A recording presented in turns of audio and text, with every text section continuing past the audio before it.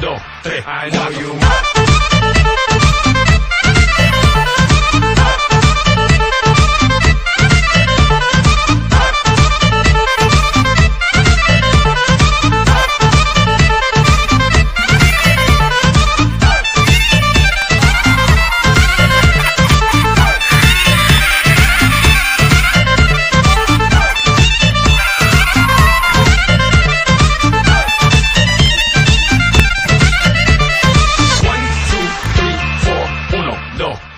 quatro, cinco.